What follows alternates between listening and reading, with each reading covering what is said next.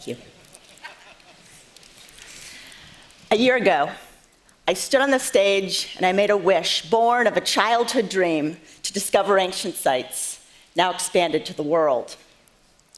We spent the last year building GlobalXplorer, an online citizen science crowdsourcing archaeology platform in partnership with National Geographic, Digital Globe, and Tomnod. We wanted to create something fun, easy to use, and engaging, so explorers from 5 to 105 could participate, and something that archaeologists could use. But this was a huge experiment. Would it work? Would people find things? Would we create an engaged global community? Fortunately, we archaeologists are completely crazy. We believe that you can rewrite history from a single bone. So we launched GlobalXplorer three months ago, working with Peru's Ministries of Culture and Tourism, and with our ground partner, the Sustainable Preservation Initiative.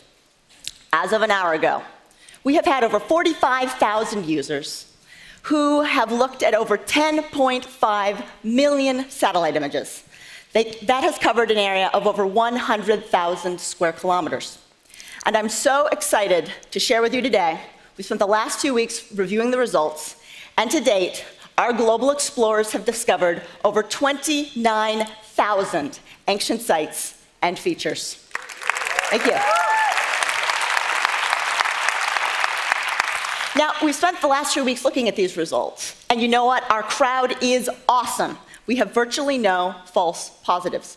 We can't say yet whether these sites are completely new or already known. That's going to take time. But law of averages, a lot of them are going to be new discovery sites like this or this. We'd hoped to get out into the field last month to look at some of these sites, but with the flooding in Peru, we couldn't. That's okay. We'll spend the next few months looking at them.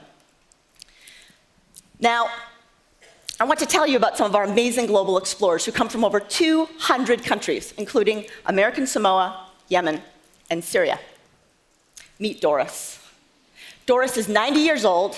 She comes from Ohio, and she's largely housebound. She feels like GlobalXplorer allows her to make a real contribution to science without leaving her home. Now, Doris has looked at over 50,000 satellite images, reaching the level of space archaeologist. I mean, of course she has. She's going to put me out of business. Doris, you rock.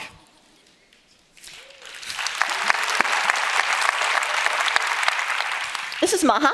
He's from India.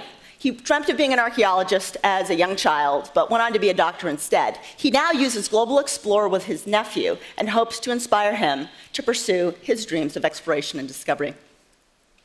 A year ago, I talked to you about our work at Lisht, a site in Egypt dating to 3,800 years ago.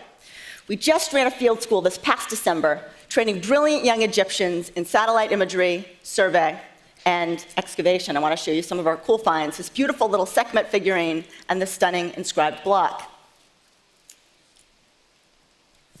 We're going to be announcing Country 2 later this year. Long term, the plan is to build a center for archaeological innovation, which will house our crowdsourcing, exploration, and education initiatives. This will take time and support, but will help to define the future of archaeology. So last year, when I walked on stage, I had a hat just like this one. To me, it represents the excitement of discovery, the potential of achieving the impossible, and living out your childhood dreams of exploring the ancient world. But as I've learned this year, that dream doesn't belong to me anymore. It's yours. And this, it now belongs to you. Thank you.